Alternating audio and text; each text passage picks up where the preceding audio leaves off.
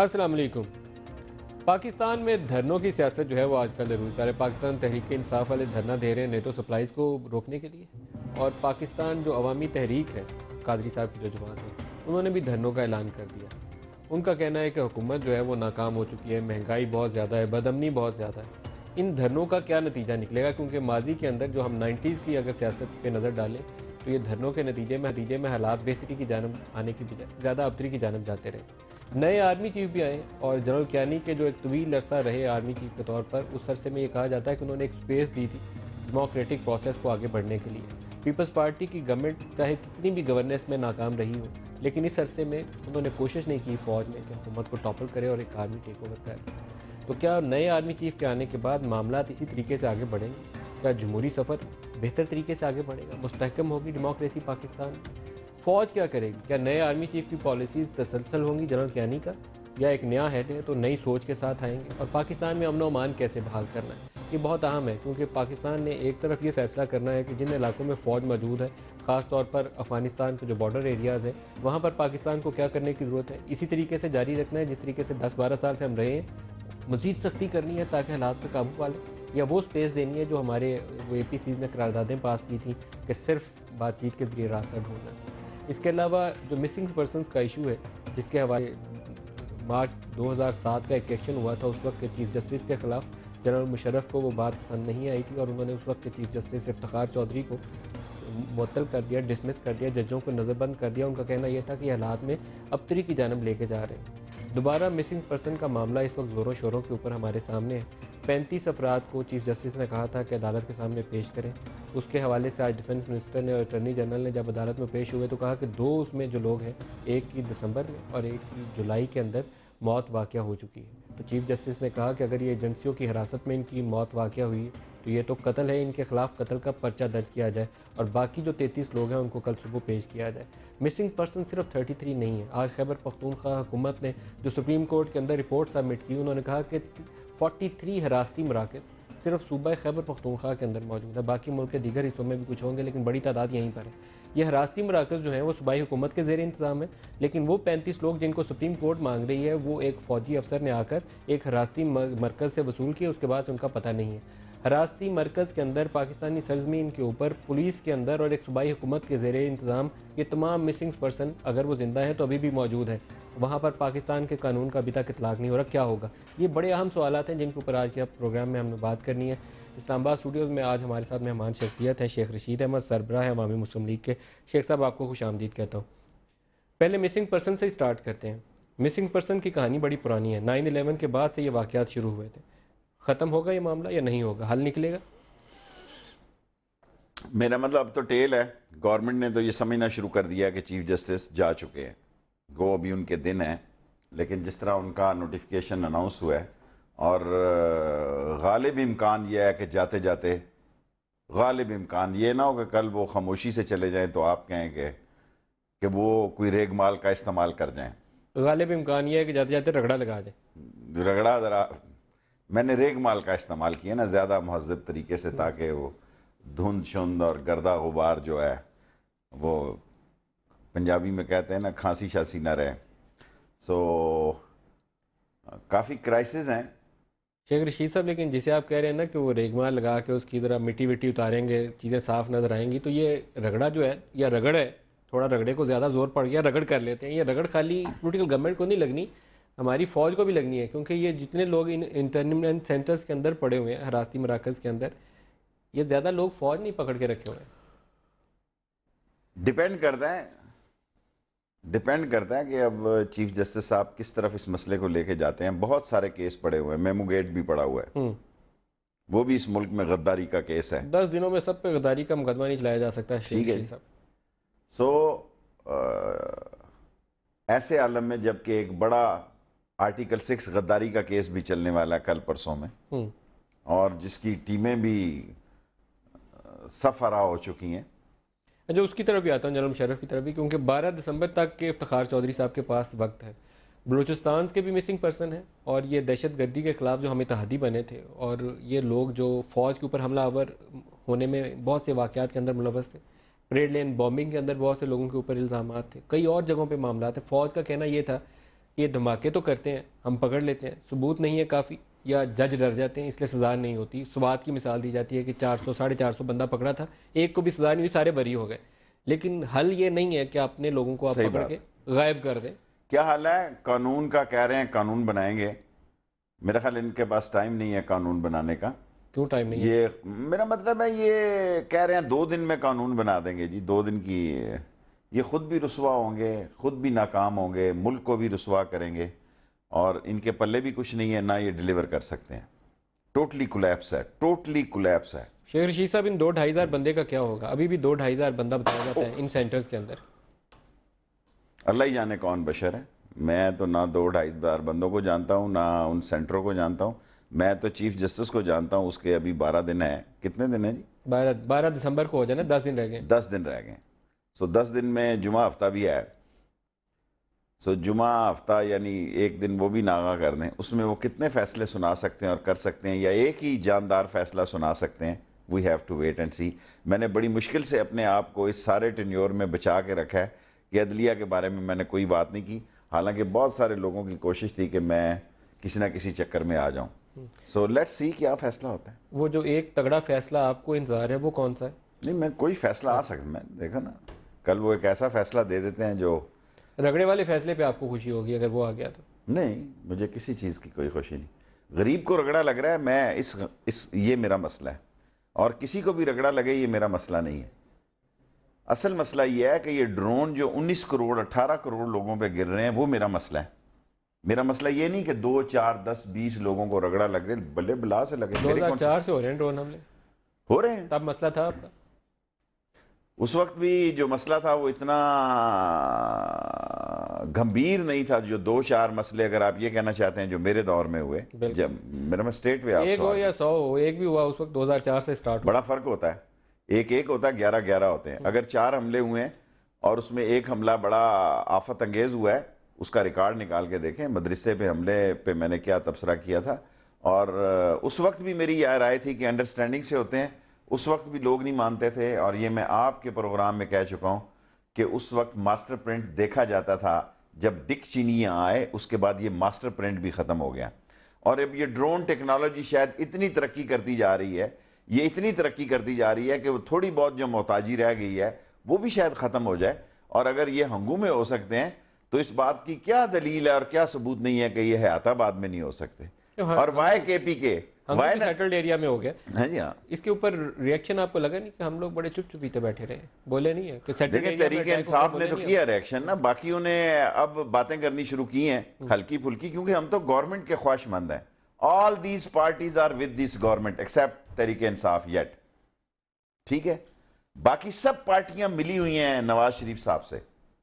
Totally Jamaat Islami और तरीके इंसाफ को छोड़कर अवामी मुस्लिम लीग को छोड़ के। बाकी लेटी हुई हैं उसके आगे। फजल रहमान साहब के मतलब क्या कहते हैं? आपको पता लग जाएगा दस पंद्रह बीस दिन में मेरे उनसे एहतराम का एक रिश्ता है इसलिए मैं तबसरा नहीं करता आपको खुद पता लग जाएगा इसी महीने कि उनकी प्रमोशन हो रही है और कि कहाँ कहाँ उनको हिस्सा बकदर जुस्सा मिल रहा है। हिस्सा ब कदर जुस्सा।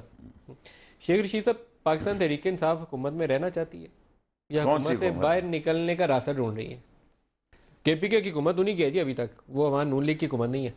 मैं तो अभी इमरान खान साहब से मिल के आ रहा हूँ वो तो रहना चाहती है मेरे ख्याल में। रहना चाहते हैं? रहना ना चाहते तो किसने उनको इतने मामला पे कौन आ, मैं समझता हूँ उनके लिए बहुत बड़ा ये मसला है अगर तहरीक इंसाफ मैं अभी खान साहब को ये कह के आया हूँ कि आपके सारे जवाब मुझे देने पड़ते हैं हालाँकि आप लोगों को ये तरीके इंसाफ से पूछने चाहिए ये जवाब।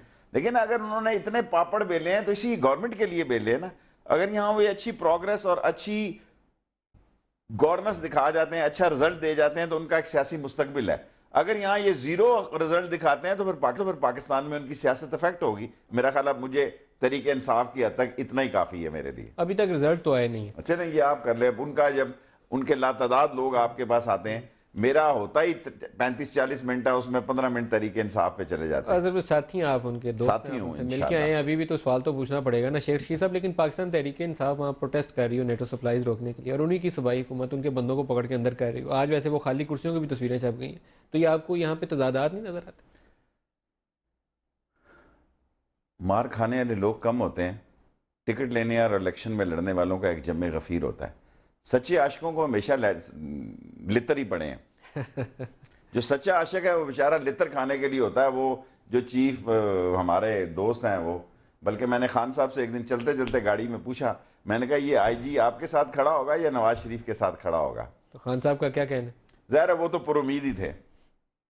उम्मीद पर दुनिया कायम है। दुरानी साहब हो सकते हैं इनके साथ ही खड़े अभी इनके बंदे पकड़ रहे हैं बारह इनकी इजाज़त से ही पकड़ रहे होंगे। ये फरमाइएगा कि हंगू ड्रोन हमले के बाद कुछ ऐसे भी सवाल सामने आए कि पाकिस्तान को ये भी बताना चाहिए कि ये हकानी नेटवर्क के लोग पाकिस्तान में कहाँ कहाँ मौजूद है? एक आपको पता है बाराकू में मर्डर हुआ है। वो हो सकता है कि वो यूएन पेपर्स के ऊपर बंदा बाकायदा ऑफिशियल रेजिडेंस हो, लेकिन किसी ने आके उस हकानी को, सराज हकानी के भाई को, जलालुद्दीन हकानी के बेटे को बाराकू में आके कत्ल किया। हमें मालूम है किसने मारा हमें तो ये भी मालूम नहीं हो सका, नदीम साहब, हम इतने नालायक, नाहल, नकम्मे, नखट्टू कम अक्ल, कम ज़र्फ और जेनी पस्ती के और कम एहलियत के और सिफारशों का शिकार है कि यहाँ से डेड बॉडीज़ वहाँ पहुँच गई तो फिर इनको पता लगा। जब रात को एक खबर चली कि इस तरह फायरिंग हुई है, ग्यारह बारह एक दो बजे जो भी था या एक टीवी पे, मुझे उस वक्त ही शक पड़ा कि ये जो मोटरसाइकिल ने मार के गए हैं, मुमकिन है। देखें, इस्लामाबाद में पेनिट्रेशन है उन लोगों की। लेकिन ये नहीं मुझे पता लगा, इनको ये पता लगा कि किसने मारा, किसने नहीं मारा, मुझे ये पता है कि जब तक वो अपनी जगह पे डेड बॉडीज तीनों लैंड क्रूजर नहीं पहुँच गई सारे रस्ते में किसी ने उनको देखा नहीं कि इसमें कौन जा रहा है। और जब वहाँ पे उनकी ताज़ियत के लिए वो हंगू के अंदर एक मीटिंग हो रही थी और दो दिन पहले वहाँ बताया जाता है सराज हकानी भी होके गया था वहाँ पर भी ड्रोन हमला हो जाता है। तो ड्रोन वालों को ज़्यादा पता था यहाँ लोकल वालों को नहीं था पता। ये कुछ अजीब सी बात है मेरी समझ में नहीं आई वैसे। देखें जिस इंफॉर्मेशन को लोग वो ख़रीद लेते हैं तो ख़रीदने में एक ताकत होती है। तनख्वाह पे सिर्फ़ छड़ी तनख्वाह पे तो लोग गुजारा नहीं आपको ये तो पता है ना कि हंगू जहाँ हमला किया गया वहाँ दो दिन पहले सराज भी आया था ये नहीं मुझे पता आप मेरे मुँह में ये क्यों डालना चाहते हैं नदीम मैं बता रहा हूँ। आपको पता होगा मैं बता रहा हूँ। अगर उनको पता था जिसने ड्रोन ऑपरेट करना है तो यहाँ लोकल कोई ज़रूरी नहीं है कि ये दुरुस्त बात भी हो। हम्म। ये ज़रूरी नहीं है कोई दुरुस्त बात भी हो क्योंकि देखें ना आप तीन बेटे हकानी साहब के शहीद हो गए ठीक है? खुद वो बीमार है। कमर का उन्हें आर्जा है। तो जिस बंदे के उम्र के इस हिस्से में तीन बच्चे जवान शहीद हो जाएँ उसकी सोच के अंदाज बड़े मुख्तलिफ़ होते हैं। कौन से अकानी वहाँ थे या नहीं थे ये मुझे नहीं मालूम। नवाज़ शरीफ साहब हो गए हैं अफ़गानिस्तान। मुल्ला ब्रदर के हवाले से उनका जिसने मिलना है आज वो मिल लो। क्या लगता है आपको? क्या होने वाला है इस पर देखिए नवाज़ शरीफ साहब फ्रंट फुट पे खेल रहे हैं और एक ऐसे दौर में खेल रहे हैं ऐसे टाइम में खेल रहे हैं। शायद अभी वो इस सूरत हाल से बखूबी आगाह होंगे। ये फातमी शातमी जो उनके एडवाइज़र हैं, ये थके हुए हैं। ऊपर अल्लाह चैम्बर खाबी खाली है, नून लीगी है ये। मुल्ला बरदर को आके मिल रहे हैं लोग मिल रहे होंगे, सारे मसले हैं। क्या अफ़गानिस्तान से अमेरिकन ट्रुप्स जा रहे हैं? जी, नहीं जा रहे। जब वो कह रहे हैं बारह से पंद्रह या बीस, आप इंटरनेट वाले हैं, आपको पता होगा। अगर पंद्रह हज़ार रह रहे हैं तो इसका मतलब है अठारह, बीस हज़ार रह रहे हैं उनकी सारे कॉनवाय उनके बैटमैन उनके सारे मसले। और नौ से ग्यारह अगर उनके बेस रह रहे हैं तो फिर तो कोई नहीं जा रहा ना। वो तो छोटी छोटी ट्रुप्स जो जा रहे हैं और मेन कमान में वो रह रहे हैं। अभी तो लड़ाई चल रही है ना उनकी करजई से। करजई ने अभी तक करजई ने तो देखो ना लोही जिरगा ने तो पास कर दिया इज़ ए स्मार्ट इनफ मैं तो उसे पीछे जब मैरियड में यहाँ शाम को गपशप लगा करती थी उन दिनों की बात है जब मैं भी फिट था और एक्सरसाइज पे जाया करते थे तो he is a smart enough मैं समझता हूँ दोस्तम के बाद रुस्तम के बगात अगर कोई चलाक तरीन इस खत्े में आदमी आया तो वो अच्छा करजई है। ये मेरी राय है कौम मुझे माफ़ रखे। इस खत्े में दोस्तम के बाद अगर कोई चलाक तरीन और डबल एज आदमी है जो ताश छाती के साथ लगा के खेलने वाला है उसने अमेरिकन को कहा कि जब तक उसके भाई का इलेक्शन नहीं होगा वो इस पर साइन नहीं करेगा। लोही जरगा सारा दस अप्रूव कर चुका है। पहले वो लोही जरगे के पास गया। लोही जरगे ने कह दिया ठीक है अब वो साइन नहीं कर रहा साइन इसलिए नहीं कर रहा वो छोटी चाहेगा वो इलेक्शन में फड्डा डालेगा। आइन में तो गुंजाइश नहीं है लेकिन you know there is always face behind case Sheikh साहब फ़ौज अफ़गानिस्तान में एक डेफिनेट इंटरेस्ट है उसका। और दस बारह साल से इतनी बड़ी फ़ौज हमारी वहाँ लड़ी है जवान इतने शहीद हुए तो यकीन उनका इंटरेस्ट होगा कि कैसे मामला आगे बढ़े। क्या नवाज़ शरीफ साहब जो पॉलिसी परसू कर रहे हैं और जी की पॉलिसी वो एक ही है इस वक्त? मेरा ख्याल है नहीं है। नहीं है? नहीं तो ये चलेगा कैसे आगे? ये नहीं मुझे पता। ये नवाज़ शरीफ को पता होगा और फौज को पता होगा। नवाज़ शरीफ साहब बज़ाहिर ऐसा अपीयर होने की कोशिश कर रहे हैं कि आए एम मैं हूँ मैं हूँ। आई एम नवाज़ शरीफ दो तहाई मेजॉरिटी वाला। आ गया हूँ। शेर हूँ। हो क्या रहा है। You have to wait and see आप ये नहीं बताएँगे कि खुद गवर्नमेंट कह रही है कि ओवर टेन परसेंट इन्फ्लेशन अफरात जर हो चुकी है। ये मसला नहीं है इस कौम का? बहुत बड़ा मसला जी। महँगाई तो नवंबर के महीने में सरकारी तौर पर उन्होंने कह दिया दस फ़ीसद से ज़्यादा होगा सरकार कहे अगर 10-11 फ़ीसद है तो ये आप नदीम साहब आप खुद फैसला कर सकते हैं ये कितने फ़ीसद है। मर गया गरीब के बेटे अठारह उन्नीस करोड़ लोगों पे रोज नाश्ते पे ड्रोन गिर रहा है लंच पे ड्रोन गिर रहा है। जिनके डॉलर हो गया 112 रुपए का उसको खुले खाओ और नहाओ। ये उनका काम है। डॉलर वाली पार्टियाँ कौन सी? इस मुल्क में दस आठ दस बीस मेन और जो बाकी पार्टियाँ इनके अंजमन, इमदाद, सताइश बामी है। किन के पास है डॉलर? अंधों को पता है किन के हैं टावर इधर दुबई में? किन के हैं पार्क लेन में? किन के हैं सरे महल किन के हैं स्विट्जरलैंड में अकाउंट? किन के हैं स्पेन में अकाउंट? किन के हैं सऊदी अरब में? सारा कुछ मामला मारा तो ये गया। हमें कहते हैं, शेख रशीद टमाटर की बात करता है, प्याज की करता है, लहसन की करता है। मैं क्या करूँ उसकी स्टॉक एक्सचेंज की बात करूँ? मसनू लोगों की। जो इन लोगों को चंदा देते हैं और अरबों रुपए की डीलिंग करते हैं और नौसरबाजियाँ करते हैं और 500 अरब रुपया गर्दन काट के लोगों की इन्होंने दिया गर्दशी कर्जों का, किसी ने इनका ऑडिट किया कि तुम्हारे जनरेटर उतनी बिजली पैदा करते हैं जो बांग्लादेश में करते हैं? तुमने जो ऑयल एंड गैस ऑयल इस्तेमाल किया वो इंडिया के बराबर है? नहीं किया, इसलिए इन्होंने करोड़ों रुपए इन पार्टियों को चंदे दिए थे इलेक्शनों में। ये मनशा ग्रुप सारे ग्रुप डकेत मॉडर्न डकेत इस मुल्क के 200 अरब रुपया, फिर कहेंगे जी दो हमें। वैसे मैं मनशे की इज़्ज़त करता हूँ पाकिस्तान में सरमायाकारी करके बैठा हुआ है ना यहाँ से लोग मलेशिया में पैसा ले जाते हैं श्रीलंका में पैसा ले गए पाकिस्तान से बाहर सारा सरमाया ले गए एटलीस्ट उस बंदे में जहर है हर उस आदमी ने करना है मुझे भी आप दे दें कोई अदारा प्राइवेटाइज का हम्म। मैं भी आपको माल लगा दूँ आप मुझे कहें ले ले नेशनल बैंक तू मुस्लिम ले ले फलाना ले ले शेख रशीद बैंक ले ले हम्म। जैल और गंवार भी चला लिया करते हैं लूटी हुई पतंग को हर कोई पकड़ लेता है हम्म। जिसने मांझा लगा के डोर लगाई हो उसे पता होता है कि गुड्डी के फेरे कितने होते हैं। अच्छा शेख साहब ये बताएँ कि यहाँ से बहुत बड़ी मिकदार में सोना इंडिया गया। वो हाँ। पार्टियाँ कौन सी हैं जिन्होंने सोने में पैसे यार आप मुझे कस्टम ऑफिसर समझ रहे हैं। आपके पास बड़ी खबरें होती हैं। कस्टम वालों के जब मैंने कहा इस, कस, इस इस सोने को रोको किसी ने नहीं रोका। इंडिया ने देखा ना इंडिया ने टीवी रोक दिए। इंडिया ने सत्तर रुपए के जब डॉलर पे सत्तर रुपए इंडिया गया इलेक्शन इंडिया का इलेक्शन इशू था प्याज। इलेक्शन इशू था इंडिया का है? करेंसी एक्सचेंज उन्होंने क्या किया जी? उन्होंने कहा कोई ना लाए टीवी कोई ना लाए रेडियो बाहर से कोई ना लाए थर्मास कोई ना लाए सोना। जब मैं चीखा असम्बली में बार बार जुल्म कर रहे हो सो स्मगलर की तो कोई सरहद नहीं होती। तो उसमें काफ़ी बड़ी मिकदार में पैसा लोगों ने बनाया। वो पार्टियाँ कौन सी हैं? क्योंकि वो छोटा बंदा ये पैसा नहीं कमा सकता कि दो चार तोले ले गया। लाल हवेली सराफा बाज़ार में है मेरे वालदेन का घर सराफा बाज़ार में है पर मैं मुझे नहीं पता कि सोने का बिज़नेस मैं वहाँ अंगीठी देखता हूँ कि धुएँ की अंगीठियाँ बस जो मेरे वो अंगीठी वाले बेचारों ने नहीं कमाया ये बड़ी पार्टियाँ कमा के गई वो अंगीठी वालों का काम उन्होंने। स्मगलर की तो कोई सरहद नहीं होती। जहाँ शार्टेज और जहाँ पैसे का क्या लोगों ने श्रीलंका में बिज़नेस नहीं किए जी। किए बावजूद दहशत गर्दी क्योंकि वहाँ नफा था। ये तो आपको खबर ब्रेक करनी चाहिए कि कौन लोग हैं जो सोने की इस शेख रशीद साहब लेकिन ये बनेगा क्या? हम मुसलसल एक क्योस में एक अफरा तफरी है। पता ही नहीं है कि पाकिस्तान का कल क्या बनना है। महँगाई महँगाई इन्वेस्टमेंट नहीं है बिजली बंद है लॉ एंड ऑर्डर नहीं है धरने हो रहे हैं। फौज आपकी दोनों बॉर्डर पे लगी हुई है आधी उधर बटी हुई है आधी उधर बटी हुई है। क्या बनेगा?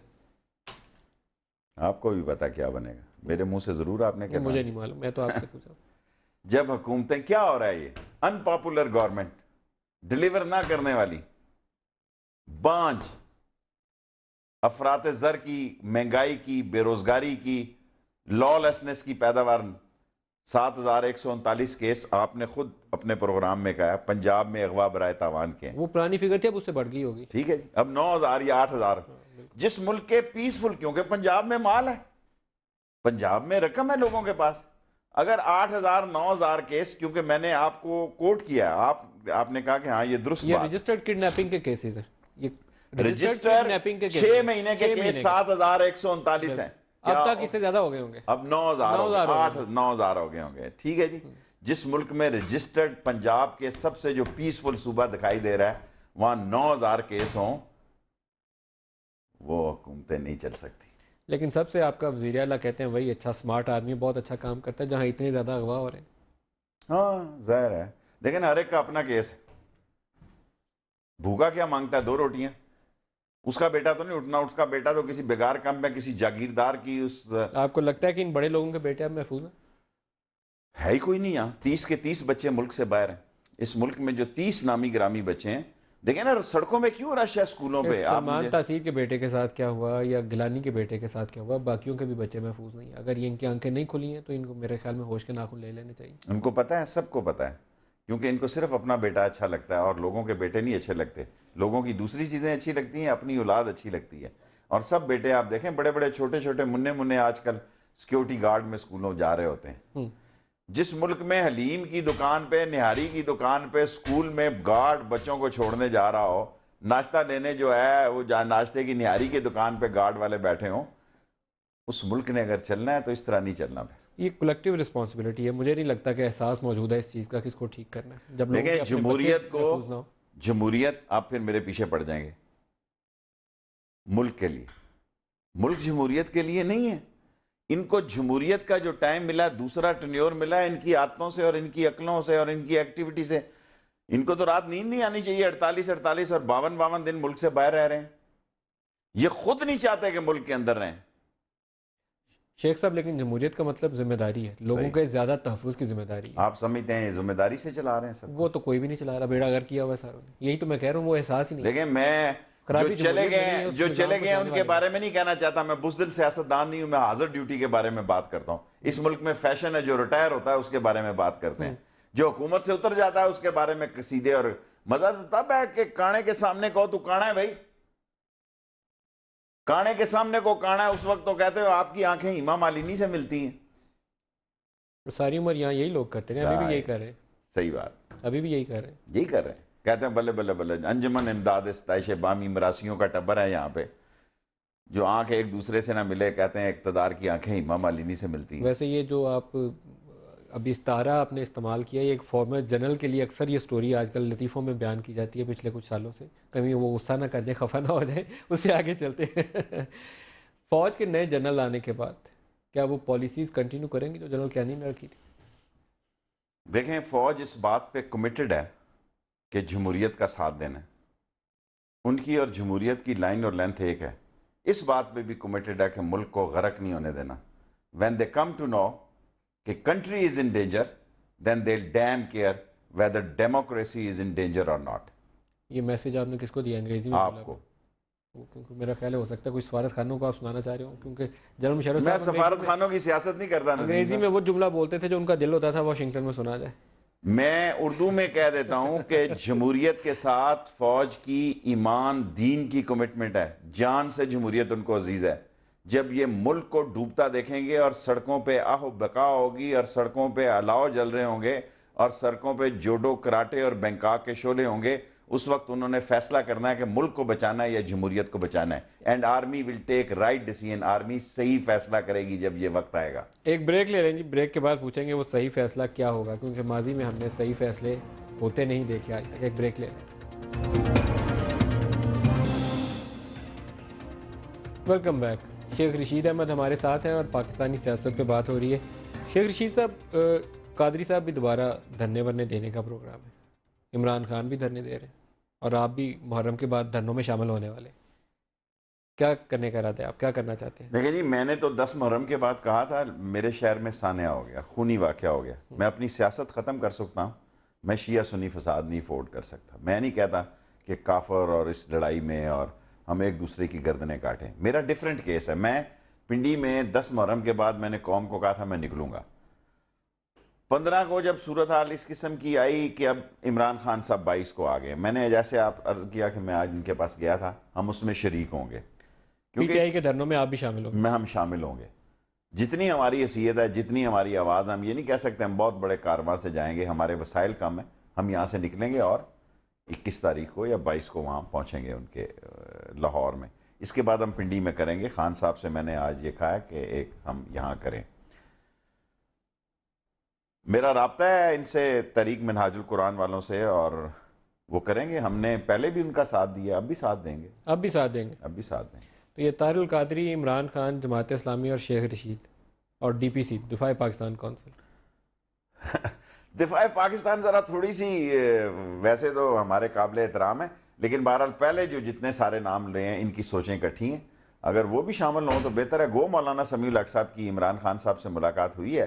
मैंने अखबार में पढ़ी है एक अखबार में और उसके क्या नतज निकले पूछा नहीं आपने खान साहब से नहीं पूछा उनके क्या इरादे? अब मिल के आए हैं तो पूछा तो होगा शेख साहब ये कैसे हो सकता है ना पूछ के आए चलें सारी बातें तो नहीं होती ना बस ये नहीं बताने वाली बात नहीं कोई ऐसी बात भी नहीं है। मैंने मुझे पता है कि वो मिले हैं।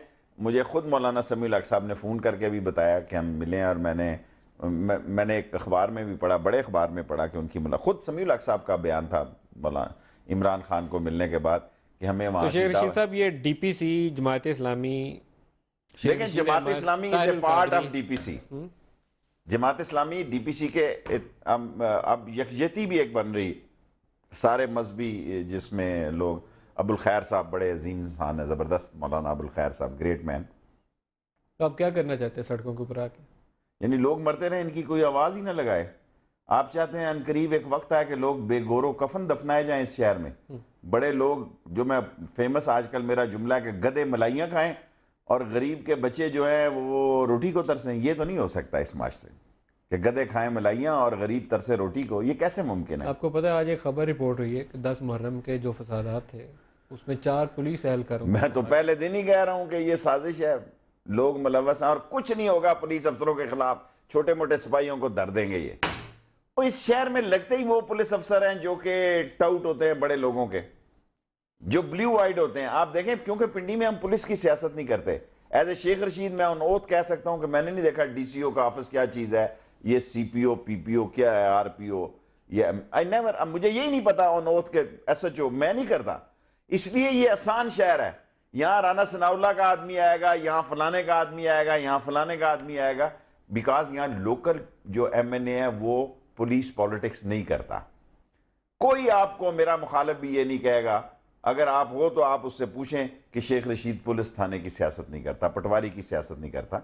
सो हमारे शहर में ऐसे नाहल लोग लगाए। मरी क्या करने गए थे? इनसे पूछे ना कोई, किसकी ड्यूटी पे गए हुए थे ये?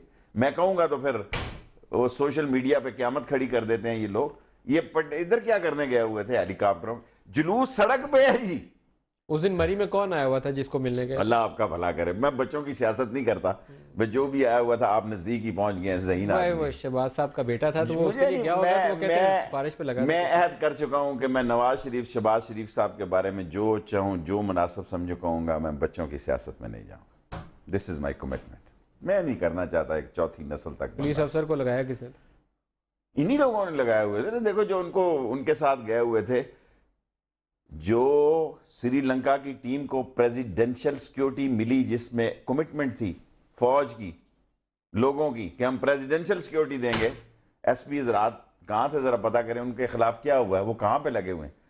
सरजी खानों के खान पुरोने होते हैं, गरीब कोई थानों में लितर पड़ते हैं। बेनज़ीर की जब असेसिनेशन हुई तो वो सऊद अज़ीज़ को बाद में हटा के मुल्तान में लगा दिया गया। प्राइम मिनिस्टर मुल्तान का पीपल्स पार्टी का प्राइम मिनिस्टर उसे मुल्तान में लगा दिया था। इंक्वायरी होने से पहले, तफसीलात आने से पहले। सर, ये तो बड़ी बातें हैं। देखें ना, ये हुकूमत एक वसीयत पर मिली जो बेटी के पास थी, ना बेटे के पास थी। एक मुलाजमा के पास थी। देखें, आप पीपल्स पार्टी की तारीख में देखें, लोगों ने जो कुर्बानियाँ दी, मैं लोगों को कहता हूँ, जिन लोगों ने भुट्टो के लिए आग लगाई कमेटी चौक में, मैं जब वज़ीर रेलवे बना, मैंने उनको नौकरियाँ दी। अब जिनको प्लाट मिले हैं, ऐसे थर्ड क्लास प्लाट मिलेंगे, वो भी किसी और नहीं दिए होंगे। इन्होंने नहीं दिए। ये आपस में बांट सकते हैं अरबों करोड़ों रुपया, जान देने वाले के नहीं नहीं बांट सकते। किसी एफ़ आई आर लिखाई, किसी पीपल्स पार्टी के बंदे ने बेनजीर की शहादत की। आसफ जरदारी साहब ने लिखाई, उनके बेटों ने लिखाई। क्या बातें कर रहे हैं आप? क्यों नहीं लिखवाई? ये आप सारे काम मैंने ही नहीं करने इस मुल्क अब जब सारी बातों का मैंने ठेका नहीं लिया हुआ पीपल्स पार्टी के पाँच साल खत्म हो गए थे। तो एंड में जाकर उन्हें ख्याल आया कि वो मुशरफ के खिलाफ वो बेनज़ीर के मर्डर की एफ़ आई आर में पीपल्स पार्टी भी फ्रीक बनेगी पाँच साल गुजरने के बाद पाँच साल जब हुकूमत थी इकतदार था प्रेजिडेंट थे प्राइम मिनिस्टर था तब तक नहीं किया। क्यों नहीं किया? ये मुझे वैसे बात हजम नहीं होती आज तक। उनका कोई बंदा है उनसे पूछें? नहीं कोई जवाब नहीं कोई जस्टिफिकेशन नहीं। उनका कोई बंदा है तो पूछें कि आपकी कितनी अच्छी अंडरस्टैंडिंग है इस वक्त नवाज़ शरीफ साहब के साथ। हम ये कभी सियासतदानों का ये सुना है आपने? नदीम साहब ये अफसर को लगाए इसको ना लगाए इसको व्हाट इज़ योर जॉब मैं कहूँ ये एस एच ओ ये एस पी लगे ये लगे सेक्रेटरी लगे ये फेडरल सेक्रेटरी लगे ये नैब में लगे। वाह शेख रशीद साहब हम अंदर से काणे हैं। दो सियासी जमातों में चलो अंडरस्टैंडिंग मैं कहता हूँ इतनी बुरी नहीं फौज से सारे सहमे हुए थे आपस में उन्होंने हाथ अगर अच्छे तरीके से मिला लिया बुरी बात नहीं है। लेकिन मसला ये है कि बेनज़ीर के मर्डर के ऊपर पीपल्स पार्टी पाँच साल क्यों चुप रही? अगर वो बैतुल्ला महसूद के भेजे हुए दो बंदे ही इन्वॉल्व थे तो जनरल मुशरफ ने तो फिर सही काम कर दिया था क्योंकि पीपल्स पार्टी ने तो उसे पाँच साल सच माना ये आप उनके लोगों से पूछें तो बड़ी देखें अफसोसनाक ना तहरीक इंसाफ का भी मैं जवाब दूँ नून का भी मैं दूँ ऑलराउंडर है? जी आप ऑलराउंडर है। सही है। स्लिप पे कैच पकड़ा जाए मेरा। आप यही चाहते हैं कि मेरा स्लिप पे कैच पकड़ा जाए? बाबा आप इनसे पूछें। देखें बहुत सारी बातें ऐसी हैं जो इनको बतानी चाहिए। ये मौसम का हाल बता के चले जाते हैं। इस मुल्क में बड़ी माजरत के साथ जितने बड़े केसेस हैं उसका कोई फैसला ना हुआ ना होगा। बीवी वाले केस का? मैंने मैं देखें आप मुझे क्यों घेरे में लेते हैं? मैं एक जुमला बोल रहा हूँ कि इस मुल्क में जितने बड़े जियाउल हक का केस हुआ लियाकत अली खान का केस हुआ बेनजीर का केस हुआ बुगटी का केस हुआ इस मुल्क में जितने बड़े केस हुए ना उनका फैसला हुआ है ना होगा। ये जेलें गरीबों के लिए बनी हैं। बुगटी केस में आपके दोस्त जनरल परवेज मुशरफ का नाम है जो चार केसेस हैं उसमें बीबी का भी केस है जो बड़े तगड़े केस हैं और बुगटी का भी केस है। आर्टिकल छः कोर्ट अभी लगनी है उसके ऊपर भी आपने अभी जज साहब का ज़िक्र ज़िक्र किया जनरल मुशरफ का भी ज़िक्र किया आर्टिकल छः जनरल मुशरफ के ऊपर फौज का क्या रद्द अमल है आपको पता क्या होगा? क्या मुझे होगा? कहने की ज़रूरत नहीं है। क्या होगा? एक एंकर के खिलाफ कोई ऐसी बात हो सारे एंकर आप इकट्ठे होकर पार्लियामेंट के सामने नहीं आते। एक साफी के खिलाफ चलान हो मोटरसाइकिल का सारे साफी इकट्ठे नहीं होते। एक पटवारी के खिलाफ जब बात होती है सारे पटवारी इकट्ठे नहीं होते। टीचर के एक को मारा उधर गलत उन्होंने तो सारे टीचरों ने कराची में क्यामत ला दी। ये पिम्स के डॉक्टर उन्होंने कहा जी आपने बनाए ये सारे स्टाफ जो है एक नहीं हो गए। सो पेटी बंद है वो भी। तो पेटी देखे ना अगर आप वो वो क्या कहते हैं? मेरे अगर देखे ना, आर्टिकल छः लगेगा तो आपकी इस लंबी तमीद का मकसद यह है कि आर्टिकल छः लगेगा तो उनके पेटी बंद भाई मैंने आए, आपको एक बात कह दिया है कि इस मुल्क में बड़े आदमी के खिलाफ कोई केस ट्रायल सजा नहीं हो सकता। करें। जनरल का भी नहीं होगा। मैं बड़े आदमी अगर आप समझते हैं वो बड़ा तो मैं कह रहा हूँ उनका नाम। आप खुद ही बता दें। हाँ तो मैं देखे ना मैं आप ये देखें मैं इंफॉर्मेशन कमांडर्स की मीटिंग ने अपनी बात तरीके और सलीके से जनरल क्यानी के ज़रिए नवाज़ शरीफ तक तक पहुंचाई है। फॉर्मेशन कमांडर्स की मीटिंग राइट फॉर्मेशन ही कह रहा हूँ उन्होंने अपनी मीटिंग की कहानी जो थी वो नवाज़ शरीफ तक पहुँचा दी है जनरल क्या जनरल क्यानी दैट्स इनफ और वो वो- जमहूरियत के साथ कमिटेड है। कहानी है कि हम आर्टिकल छः नहीं चाहते जनरल मुशरफ ये आप कह रहे हैं। ये क्या कहानी है उनको पता होगा। ये मुझे पता है कि उन्होंने उस दिन उनकी सारी सूरत हाल पहुँचा दी है कि भाई ये उधर टेम्परेचर है आप दो एक्स आर्मी चीफ को ट्रायल करने जा रहे हैं। असलम बेग की भी बारी लगी हुई है। दुरानी साहब की भी है। दुरानी साहब की भी है। और अगर ये लगनी है तो फिर जनाब जनरल क्यानी साहब, vice army chief of staff थे। आसफ क्यानी साहब को गलतफहमी, इशफाक परवेज क्यानी को नहीं होनी चाहिए कि ये केस उन तक नहीं पहुंचेगा। ये trial let me finish in a way कौम गवार है। ये ट्रायल पुराने गुनाह की सजाओं पे नहीं हो रहा, वरना ये 12 अक्टूबर से होता। मैं दोहराता हूँ कौम के सामने। ये ट्रायल फौज के खिलाफ पुराने गुनाहों की वजह से नहीं हो रहा। वरना होता तो 12 अक्टूबर से होता। ये आने वाले मार्शल को रोकने के लिए एक मैसेज दिया जा रहा है कि here we are article six stand here तो अच्छी बात है माशाल्लाह का रास्ता तो रुकना चाहिए। आप नहीं लगता आपको? मैंने जो कहना था कह दिया अब आप कह सकते हैं। माशाल्लाह का रास्ता नहीं रोकना चाहिए। रुकना चाहिए अगर नाहल इतने हो कि मुल्क तबाह होता हो मुल्क की तबाही का रास्ता भी रोकना चाहिए जमहूरी तरीके से। मुल्क बचाने का रास्ता क्या शेख साहब? मैं इस पर भी थोड़ा सा आपसे राय चाहूँगा क्योंकि हर एक बंदा जो पाकिस्तान में इकदार पर कब्जा कर ले मुंतखब होकर आ जाए या जैसे भी इकदार में आ जाए, वो बंदूक के ज़ोर पर आ जाए। वो कहता है, पहले वाले डबो गए थे, मैं ही बचाने आया ये तो देखे ना, तीसरी बार आए आप नदीम साहब इकानमिस्ट हैं, मैं तो इकानमिस्ट नहीं हूँ, मैं तो पोलिटिकल वर्कर हूँ। आप कौम को अगले मैसेज में प्रोग्राम में ये बताएँ कि पहली दफ़ा नवाज़ शरीफ साहब आए थे, अफरात ज़र की क्या हालत की गई, और रिज़र्व कितने थे, और रुपया कितना डी वैल्यू हुआ। दूसरी दफ़ा आए तो क्या था? तीसरी दफ़ा जब मुशरफ आए तो रिज़र्व में कितने ज़खायर थे मैं कहूँगा ना तो एक नई बैच आप ज़रा आप पे यकीन करेंगे, मुझ, मैं तो डी वैल्यू क्योंकि इसहाक डार साहब, अब मैं उनको इसहाक डार साहब ही कहा करूँगा, बीमार हो गए बेचारे, अल्लाह उनको सेहत दे। इसहाक डार साहब की टर्मिनोलॉजी और थ्योरी ये है कि अगर रुपया डी वैल्यू हो तो इससे कोई फ़र्क नहीं पड़ता। अफरात ज़र, मैं खुद किसी पे इल्ज़ाम नहीं लगाना चाहता। जो मैं खुद इन्वेस्टमेंट मिनिस्टर रहा हूँ, मेरे से उन्होंने चार्ज लिया जब ये सारा फटा पड़ा। आई वॉज़ मिनिस्टर इन्वेस्टमेंट क्योंकि मेरा लोगों को पता था कि इसने ना बैंक से कर्जा लेना है या ना देना है, क्योंकि मेरे बाप ने मरते वक्त यही वसीयत की थी कि बैंक से कर्जा ना लेना। इन लोगों ने क्या मामला थे? आईएमएफ के साथ जो डील हुई है, अगर नदीम साहब, इसका कोई हल आप नहीं निकालते, इसको बेहतर तरीके से नहीं लाते। देखें, इतने पैसे हमने देने हैं, इतने हमें मिल नहीं रहे। मैं ये नहीं कहता कि आईएमएफ के शेख साहब इन्हें बेहतर इकोनॉमिक मैनेजमेंट करनी चाहिए बेहतर Right. गवर्नेंस करनी this is the best word ठीक है? बेहतर काम करना चाहिए जो कर रहे हैं इसे ज़्यादा अच्छे तरीके से करना चाहिए हालात संभालने में आ जाए। मैं मानता हूँ कि छः माह में इन्होंने वो कुछ नहीं किया जिनकी लोगों को आज थी वो तब्दीली नहीं आ सकी। ये बातें यहाँ तक तो दुरुस्त है। इनको उठा के बाहर फेंक दें वो तो हल नहीं है। मैं तो नहीं कह रहा ये खुद ही बाहर जा रहे हैं इनको तो कोई नहीं फेंक रहा। देखें एक आदमी अपनी इज़्ज़त से ही महरूम हो जाए। अगर लोग मुझे सुनना ना चाहें तो लानत है मुझ पे जो मैं टीवी पे आऊँ। मैं कहूँ, एक बेहतर आदमी मुझसे प्रेजेंट कर रहा है। एक शेख रशीद से बेहतर आदमी कौम की आवाज़ कर रहा है। I must give him a time अगर आप ये समझते हैं कि आपके खानदान के अलावा, आपके खानदान के अलावा इस पार्टी में कोई अहल नहीं है, सब गंगू तेली हैं। आप ही हैं, आपकी औलाद है, आपके भतीजे हैं, आपके दो चार आदमी हैं। अंजमन इमदाद सताइश बामी के, बाकी सर 200 मेंबर हैं जी। अगर इस मुल्क के 200 नून के मेंबरों में कोई अहल नहीं है कौन इसका जिम्मेदार है? क्या किसी ने ट्रेनिंग दी है? क्या जनाब काबिल एहतराम शहबाज शरीफ साहब ने पिछले अपने पाँच साल टिका के लगाए हैं पंजाब में? किसी का नाम आपको आता है पंजाब के वज़ीर का? किसी एक का नाम मुझे बताएँ।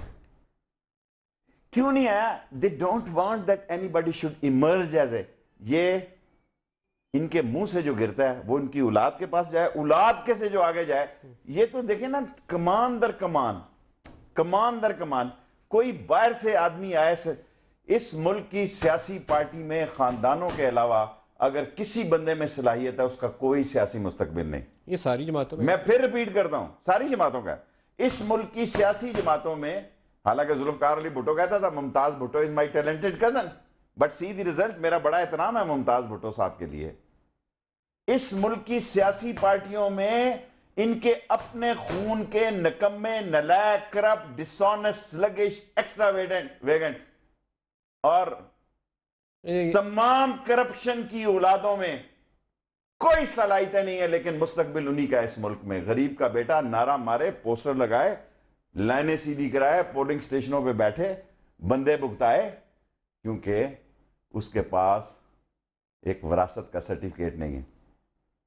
एम के एम में क्या हो रहा है शेख साहब? नून लीग की तो आपने काफ़ी क्लास ले लिया मुस्तफ़ा कमाल को क्यों इस्तीफा देना पड़ा है?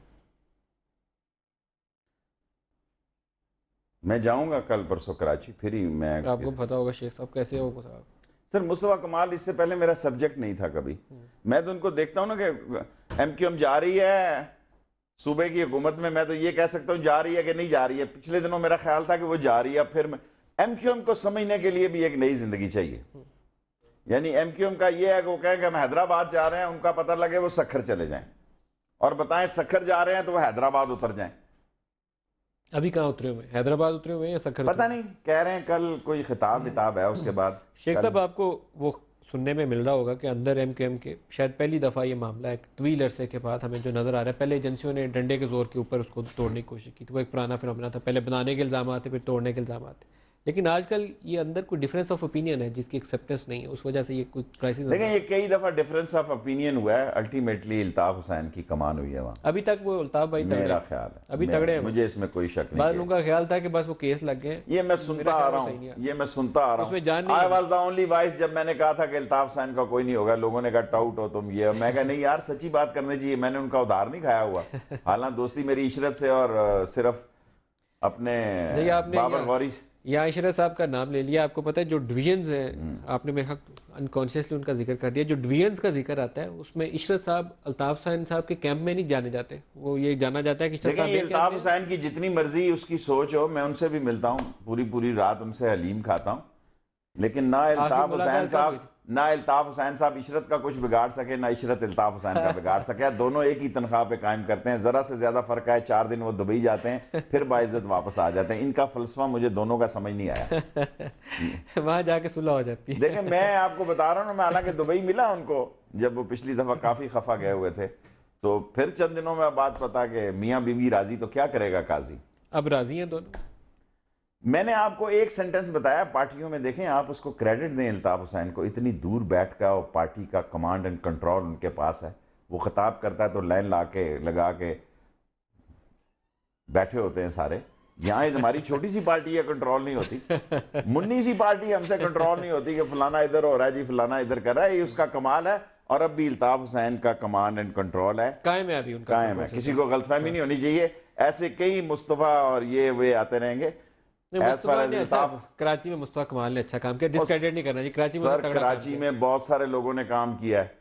उस जमात इस्लामी के एक नेमतुल्लाह ने भी बहुत काम बहुत किया अच्छा है कराची में बड़ी बड़ी शख्सियतों ने काम अच्छा, किया। last question मुस्तफ़ा ने भी बहुत अच्छा काम किया है। शाबाशी देते हैं दोनों को। नेमतुल्लाह को भी और मुस्तफ़ा कमाल को भी। लास्ट लास्ट क्वेश्चन आपको क्या लगता है कि ये जो धरने वरने हमें किस तरफ़ लेके जाएँगे? सियासत चलेगी आगे? हालात बेहतरी की जानब जाएँगे? अगर तो इन्होंने इकॉनमी को ठीक कर लिया। सियासत बेशक सारी पार्टियाँ खुर्शीद शाह छः अपने साथ ले लें शेख रशीद छः अपने साथ ले लें। अगर ये इकॉनमी का मसला ये पार्टी नून लीग ना चला सकी इनका मसला भी नहीं चल सकता। आपका लगता है हालात बेहतर होंगे? नहीं ख़राब होने जा रहे हैं। शेख रशीद अहमद सरबरा अवामी मुस्लिम लीग बहुत शुक्रिया। आज के प्रोग्राम में आप हमारे साथ रहे। इजाज़त दीजिए। खुदा हाफिज़।